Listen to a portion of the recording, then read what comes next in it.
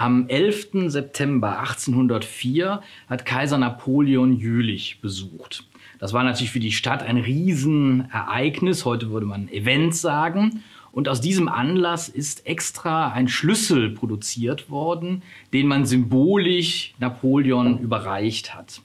Dieser Schlüssel zeigt auf der einen Seite, auf dem Schlüsselbart, die Inschrift Ville de Juillet, also Jülich, und auf der anderen Seite Napoleon Prosperité, also im Sinne von Napoleon sorge dafür, dass unsere Stadt wächst und gedeiht.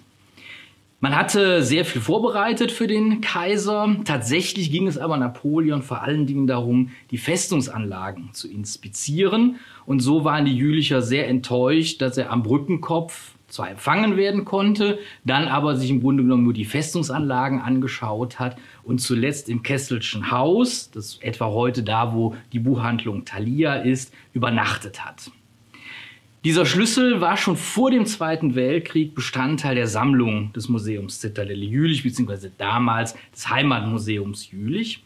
Und als am 23. Februar 1945 die amerikanischen Truppen Jülich eingenommen, respektive vom Nationalsozialismus befreit haben, hat man dem einen der Kommandanten den Schlüssel symbolisch nochmal überreicht und er hat ihn auch als Trophäe mit nach Amerika genommen und erst 1965 wieder an die Stadt Jülich zurückgegeben.